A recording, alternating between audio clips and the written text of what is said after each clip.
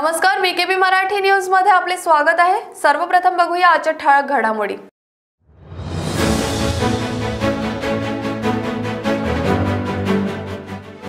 तरुणाच्या मृत्यू प्रकरणी कुणाल रुग्णालयाची पत्रकार परिषद. म्हणाले रुग्ण आला तेव्हाच तो मृतावस्थेत होता.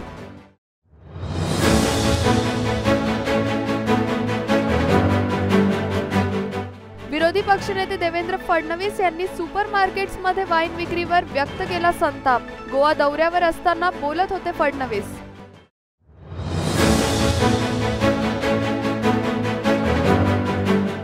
आणि नितेश राणे यांची सुनावणी अजून लांबली. आता सुनावणी एकतीस जानेवारी रोजी होणार. वकील संग्राम देसाई यांची माहिती.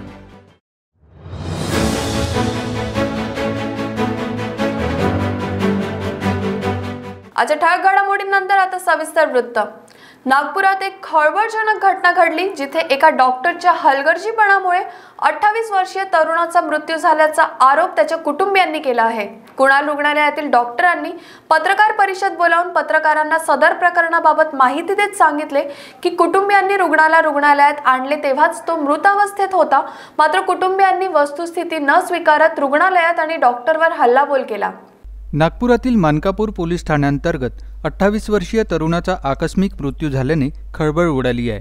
मिळालेल्या माहितीनुसार अठ्ठावीस वर्षीय राहुल युनाते याला सकाळी दहा पन्नासच्या सुमारास छातीत दुखू लागल्याने त्याच्या कुटुंबियांनी मानकापूर चौकातील कुणाल रुग्णालयात तपासासाठी आणले होते. उपचारादरम्यान डॉक्टरांनी त्याला मृत घोषित केल्याचे कुटुंबियांचे म्हणणे आहे. तर डॉक्टरांनी स्पष्ट करत सांगितले की राहुलला रुग्णालयात आणले तेव्हाच तपासणी केली असता तो मृत असल्याचे डॉक्टरांना कळले. त्यांनी कुटुंबियांना सदर माहिती दिली असता त्यांना विश्वास बसला नाही आणि त्यांनी प्रत्यक्ष त्यांच्यासमोर ई सी जी काढण्यास सांगितले. ई सी जी अहवालात स्वयंचलनामुळे नाव चुकीचे छापण्यात आल्याने डॉक्टरांनी ते नाव कापून तिथे राहुलचं नाव लिहिल्याचे डॉक्टरांनी सांगितले. मात्र हे बघून कुटुंबियांना गैरसमज झाला आणि त्यांनी चुकीचा अहवाल दाखविल्याचा आरोप डॉक्टरांवर केला. तसेच पुन्हा ई सी जी अहवाल काढल्यावर त्यात हलके व्हायब्रेशन्स आढळले असता त्यांना रुग्ण जिवंत आहे, असे वाटले आणि त्यांनी रुग्णालयात धांदल सुरू केली. पेशेंट नाम राहुल बलराम युवा थे twenty eight year old male आए थे कैजुअलिटी में। पहले हमारे सीएमओ ने देखा उनको। सीएमओ ने उनको देखा क्योंकि पल्स नहीं है।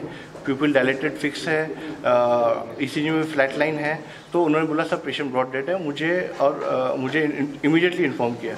मैं इमीडिएटली कैजुअलिटी पहुँचा पेशेंट को देखने के लिए। पेशेंट को मैंने पहले एग्जामिन किया। पेशेंट की पीपल डायलेटेड फिक्स थी पल्स नहीं थी बीपी नहीं था और इसी में फ्लैट लाइन दिखी मुझे। तो मैंने रिलेटिव से पहले बात की कि क्या हुआ करके। सबसे पहले हम लोग को हिस्ट्री पूछना होता है कि क्या हुआ करके। तो उसको पूछा मैंने कि भाई क्या हुआ करके तो वो बोले कि, सर, रात में चेस्ट पेन हुआ था, वो कोई एम डॉक्टर के पास गए थे। नाम नहीं बताया। मैंने उनसे ई की डिमांड की कि चेस्ट पेन था तो ई करना एमबीबीएस डॉक्टर तो ई करेगा।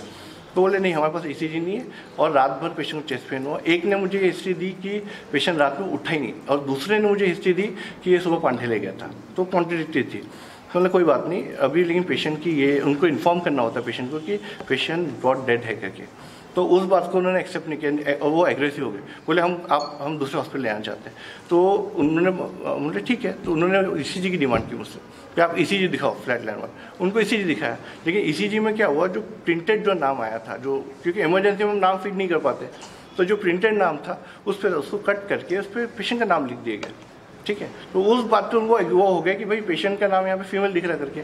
तो उनको बोला, ठीक है, आपके सामने हम रिकॉर्ड करके ई कर दें। तो उनके सामने उनकी रिकॉर्डिंग में ईसीजी हुआ। और जब तक लेकिन 20-30 लोग और बाहर से बात है एब्यूसिव लैंग्वेज शुरू हो गई। जब तक क्या, और ये, वो ईसीजी है, अगर आप देखेंगे। ये वो ईसीजी है, जिसमें सब कुछ ज़ीरो है हार्ट रेट ज़ीरो है। ये जो थोड़े बहुत वाइब्रेशन आते हैं ई में, उस बात को लेके वो एग्रेसिव हो गए। बोले कि देखो, हमारा पेशेंट ज़िंदा है करके। हमारा पेशेंट ज़िंदा है करके और उन्होंने मार तोड़ शूट किया कोई एक्सप्लेन करने मौका नहीं दिया। ये वीडियो आप क्लियरली देख सकते हैं। मेरा कॉलर पकड़ा, मुझे खींचा और एक बंदे ने आके मुझे हिट किया। दो बार hit KIA. I got a serious injury मुझे बायलेटरल नेरल फ्रैक्चर है, मुझे हिमोसाइनस है, मुझे ब्लीड हुआ और 15-20 मिनट तक तो मुझे कुछ दिखा नहीं। लकीली मैं बच गया। वो मुझे ड्रैग करना चाह रहे थे बाहर। बीस तीस लोग जो बाहर बैठे थे। पर लकीली मैं वहाँ से एस्केप हो गया। और हम लोग फिर अपनी जान बचा के फ़र्स्ट फ्लोर पहुँचे। ये ये इन्सिडेंस हुआ मेरे साथ। रुग्णालयातच रुग्णाला आणलं तेव्हा तो मृतावस्थेत होता.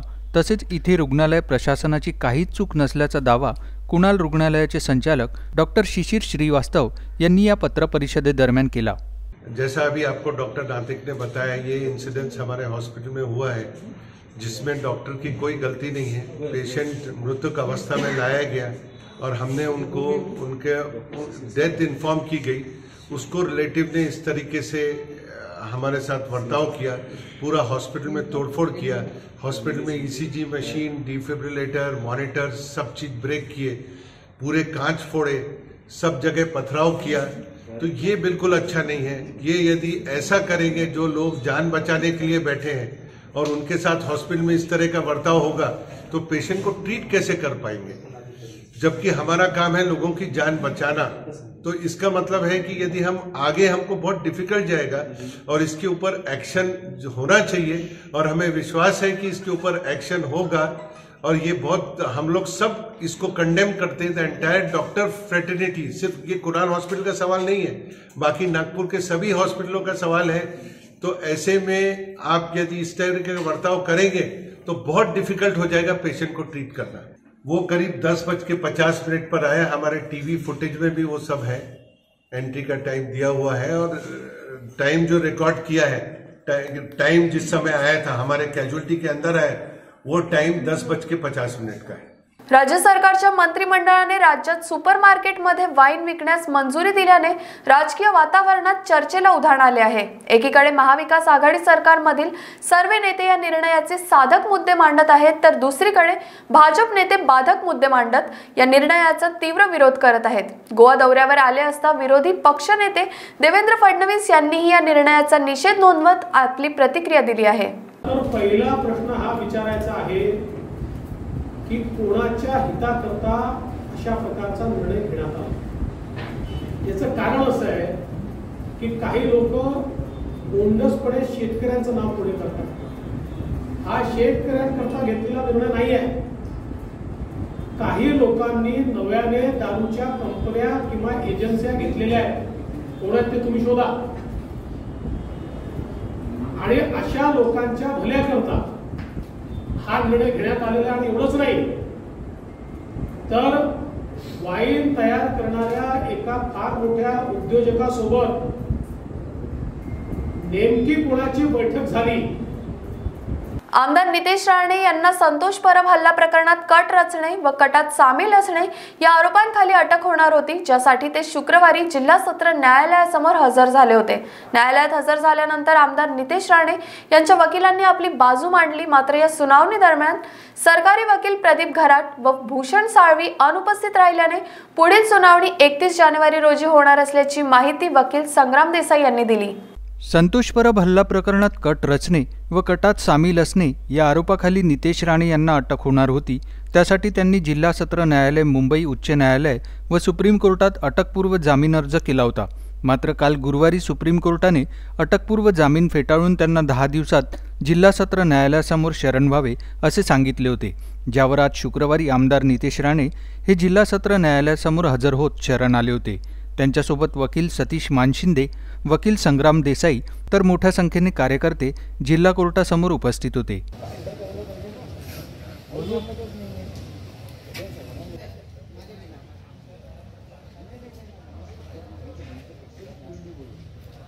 आमदार नितेश राणे जिल्हा सत्र न्यायालयात हजर झाल्यानंतर आज कणकवली नरडवे नाका येथे मोठ्या प्रमाणात पोलीस फौजफाटा तैनात करण्यात आला आहे.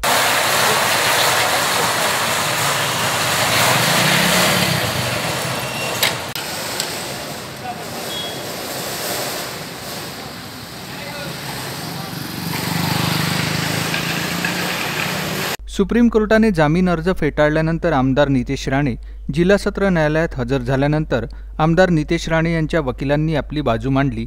मात्र या सुनावणी दरम्यान सरकारी वकील प्रदीप घरात व भूषण साळवी अनुपस्थित राहिल्याने पुढील सुनावणी एकतीस जानेवारी रोजी होणार असल्याची माहिती वकील संग्राम देसाई यांनी दिली. जरूर नाही बुलढाणामध्ये कोविड नियमांचे काटेकोर पालन करीत शाळा सुरू झाल्या असून या निर्णयावर शाळेतील विद्यार्थी व शिक्षक आनंदी दिसले. बुलढाणा जिल्ह्यातील शाळांमध्ये विद्यार्थ्यांचा किलबिलाट सुरू झाला असून अठ्ठावीस जानेवारीपासून शहरी आणि ग्रामीण भागातील पहिली ते बारावीचे वर्ग सुरू झाले आहेत. कोरोना नियमांचे पालन करत या शाळा सुरू झाल्या असून शाळेत येणाऱ्या विद्यार्थ्यांकडून पालकांचे संमतीपत्र घेण्यात आले व सामाजिक अंतर राखून विद्यार्थ्यांना शाळेत प्रवेश देण्यात आला. तसेच विद्यार्थ्यांचे टेम्परेचर ऑक्सिजन लेवल व थर्मल गनने चाचणी देखील करण्यात आली. त्याचबरोबर सर्व विद्यार्थी सॅनिटायझर व मास्कचा उपयोग करताना दिसले. मुलांच्या शिक्षणाचे नुकसान होऊ नये व ऑफलाईन व्यवस्थेत मुलांना शिकवणे सोपे जात असल्याने पालक विद्यार्थी व शिक्षक सरकारच्या या निर्णयाने आनंदी झाले असून यांनी यावर प्रतिक्रिया दिली. महाराष्ट्र शासनाच्या व माननीय जिल्हाधिकारी यांच्या आदेशानुसार आज अठ्ठावीस जानेवारी दोन हजार बावीस रोजी आमची शाळा प्रत्यक्ष सुरू झाली. ऑनलाईन क्लासेस घेताना विद्यार्थ्यांना आणि आमच्या शिक्षकांना बऱ्याच समस्यांना सामोरे जावे लागत होते. विशेषतः गणित आणि विज्ञान शिकविताना जास्त अडचणी येत होत्या. आज प्रत्यक्षात वर्ग सुरू होत असल्यामुळे विद्यार्थ्यांच्या आणि शिक्षकांच्या ह्या समस्या आपोआपच दूर होणार आहेत. प्रत्यक्षात वर्ग सुरू झाल्यामुळे विद्यार्थ्यांमध्ये आणि शिक्षकांमध्ये आनंदाचे वातावरण आहे. आज नेमके नुकतेच माननीय शिक्षणाधिकारी श्री मुकुंदसाहेब यांनी शाळेला भेट दिली व विद्यार्थ्यांच्या उपस्थितीबद्दल त्यांनी समाधान व्यक्त केले आहे. मी आठवी वर्गात शिकतो. ऑनलाईनमध्ये आम्हाला फळ्यावरचं काही दिसत नाही. इंग्लिश मॅथ सायन्स यामध्ये खूप प्रॉब्लेम येतो आहे स्कूल चालू झाल्यामुळे आम्हाला खूप चांगलं वाटतं आहे मित्रांना भेटता येते. त्यामुळे आम्हाला म्हणजे ऑफलाईनमध्ये जास्त समजते. कारण ऑ ऑनलाईनमध्ये आम्हाला फळ्यावरचं दिसत नाही. त्यानंतर नेटचा प्रॉब्लेम येतो कधी कधी आवाज येत नाही. त्यामुळे ऑफलाईनमध्ये आम्हाला खूप चांगलं शिकायला मिळते. मित्रांना भेटायला मिळते. सर सर जेव्हा समोरासमोर कन्व्हर्सेशन करतात तेव्हा आम्हाला खूप चांगलं वाटतं. वेळ झाली एका छोट्याशा ब्रेकची भेटूया ब्रेक नंतर. बाय सब जानना चाहते हैं। मेरा फेवरेट कलर मेरा फेवरेट डेस्टिनेशन मेरी फेवरेट डिश पर कोई ये नहीं पूछता कि फेवरेट डिश मैं बनाती कैसे हूँ। अरे यार। जिसे टेस्टी खाना पसंद है वो अच्छे टेस्ट तक पहुँच ही जाता है। सुरुचि मसाले। खाने में हो रुचि तो घर लाइए सुरुचि। अपने सपनों की उड़ान भरने की इच्छा तो हर किसी की होती है। पर पंख भी तो मज़बूत होने चाहिए। जो देता है Flywheel Aviation Academy Flywheel Aviation Academy एक ऐसा इंस्टीट्यूट है जहाँ पर एयरलाइंस एंड एयरपोर्ट हॉस्पिटैलिटी और टूरिज़्म मैनेजमेंट साथ ही यहाँ campus interview guidance by industry expert practical training at airport expert faculty personal grooming जैसे कई सारे बेनिफिट्स आप पा सकते हैं। Flywheel Aviation Academy one degree three job opportunities Flywheel Aviation Academy gives you a degree or diploma with a job. Flywheel Aviation Academy, 365 Gandhinagar, LAD College Square, beside Vijaya Bank Nagpur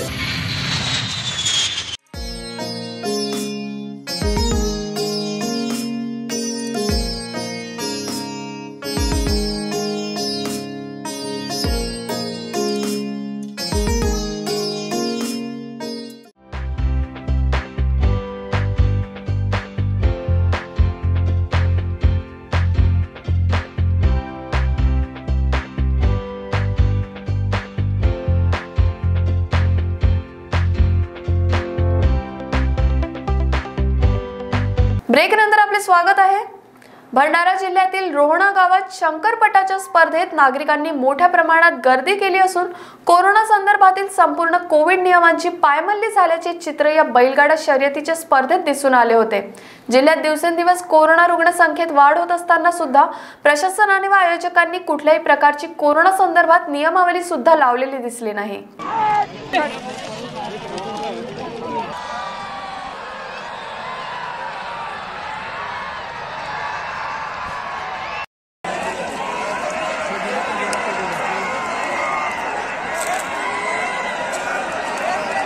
पुणेमधील अवघ्या दोन वर्षाच्या समन्वी प्रवीण चांदेकर हिने international book of रेकॉर्डमध्ये आपले नाव नोंदवले आहे. फक्त बावन्न सेकंदात एकूण छत्तीस देशांच्या राजधान्या सांगून तिने तीस डिसेंबरला हा रेकॉर्ड नोंदवला आहे. समन्वीचे वडील सॉफ्टवेअर इंजिनियर असून आई सौ शिल्पा असिस्टंट प्रोफेसर आहेत. जन्माला आल्यापासून समन्वीला अलौकिक बुद्धिमत्ता असल्याचे आईवडिलांना लक्षात आले तिला घरीच प्रशिक्षण दिले गेले असून तिच्या अचाट बुद्धिमत्तेमुळे तिची इंटरनॅशनल बुक ऑफ रेकॉर्डमध्ये निवड झाली आहे. यामुळे समन्वीचे सर्वत्र कौतुक होत आहे. महाराष्ट्र राजस्थान गुजरात गोवा वेस्ट बेंगॉल उत्तर प्रदेश आंध्र प्रदेश मध्य प्रदेश झारखंड बिहार अरुणाचल प्रदेशी मणिपूर तेलंगणा कर्नाटका आसाम हरियाणा हिमाचल प्रदेश छत्तीसगड सिक्कीम त्रिपुरा नागालँड उडिसा केरला तिरु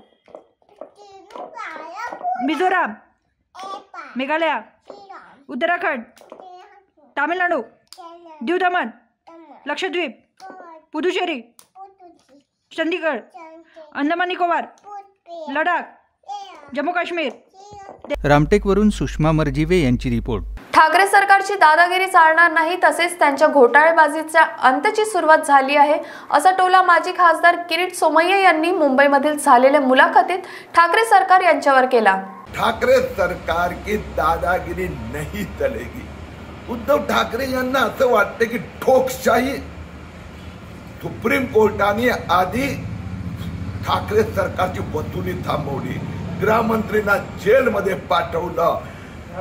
वास्तविकरित्या ह्या वसुली सरकारचा घोटाळेबाजांची दादागिरीचा अंतची सुरुवात. शुक्रवारी सर्वोच्च न्यायालयाने अत्यंत महत्त्वाचा आणि भाजपला दिलासा देणारा असा निर्णय दिला असून भाजपच्या बारा आमदारांचे निलंबन रद्द करण्याचा निर्णय सर्वोच्च न्यायालयाने दिला आहे ज्यामुळे ठाकरे सरकारला मात्र मोठा दणका बसला आहे. महाविकास आघाडीने एक वर्षासाठी या आमदारांचं निलंबन रद्द केलं होतं. या प्रकरणी सर्वोच्च न्यायालयात दोनदा सुनावणीही झाली होती. आज झालेल्या सुनावणीवेळी कोर्टाने महत्त्वाचा निर्णय दिला आहे. विधानसभेत गदारोळ घातल्याप्रकरणी विधानसभा अध्यक्षांनी भाजपच्या आशिष शेलार योगेश सागर अभिमन्यू पवार संजय कुटे अतुल भातखळकर पराग अळवणी गिरीश महाजन राम सातपुते हरीश पिंपळे नारायण कुचे जयकुमार रावत कीर्तिकुमार बागडिया आदी भाजप आमदारांना एक वर्षासाठी निलंबित करण्यात आलं होतं. हे निलंबन विधानसभेच्या पावसाळी अधिवेशनामध्ये जुलै महिन्यात करण्यात आलं होतं. या कारवाईला भाजपकडून जोरदार विरोध करण्यात आला होता. दोन वेळा या प्रकरणावर कोर्टात सुनावणी झाली होती. त्यानंतर कोर्टाने आपला निर्णय राखून ठेवला होता. त्यावर आज अखेर निर्णय आला असून सर्वोच्च न्यायालयाने हे निलंबन रद्द करण्याचा निर्णय दिला आहे. तर आज व्हीकेबी मराठी न्यूजमध्ये एवढंच. उद्या पुन्हा भेटूया नवीन घडामोडींसह. बघत राहा व्हीकेबी न्यूज. नमस्कार.